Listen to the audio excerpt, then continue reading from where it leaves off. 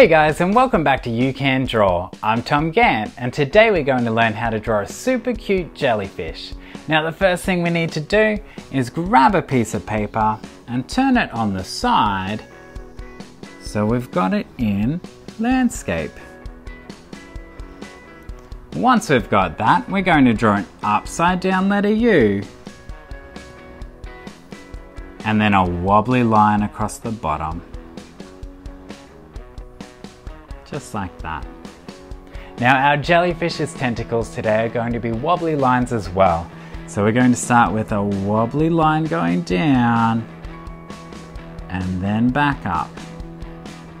And then we're going to draw one on this side, wobbly line down and then back up. Then one in the middle, wobbly line down and then back up. Now in these gaps we're going to draw more tentacles, but they're going to be a little bit longer. Wobbly line down and then back up.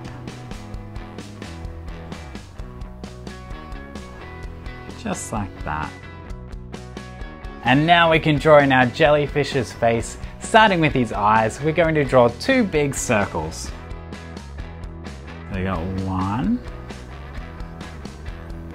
and two.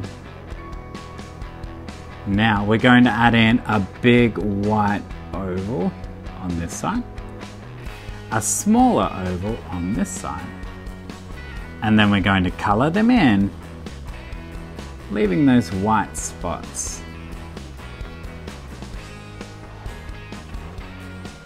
So a little bit to colour in on this one, but take your time to go outside the lines or inside those white spots.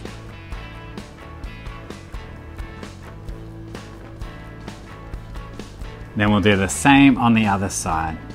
Big oval on top, smaller oval on the bottom, color it in,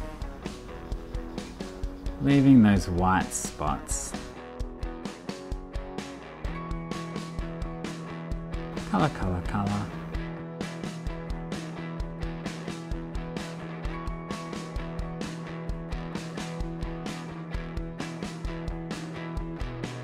So again, trying our best not to go outside of the lines or inside of those white spots.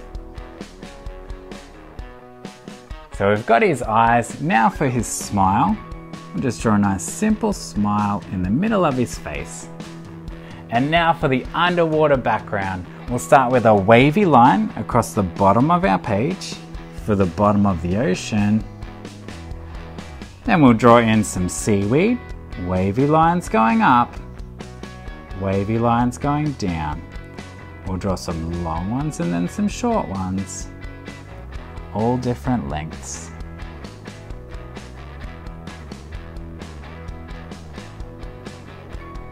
Now in these gaps we'll draw in some coral and our coral's real easy. It's just a wobbly cactus shape.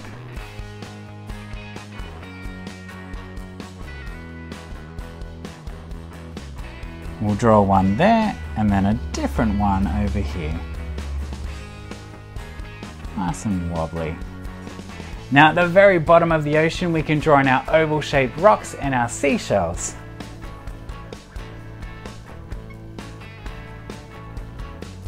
We're just taking real simple ideas, filling up our space, making it look a bit more interesting. And now all that's left to do is to draw in our bubbles. So all different size circles, big ones and little ones, medium sized ones, filling up our background.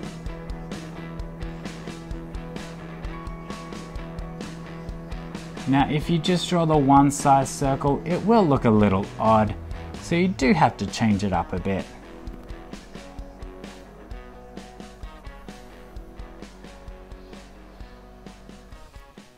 And we've got our super cute jellyfish picture. Now guys, don't forget to keep practicing and I'll see you next time.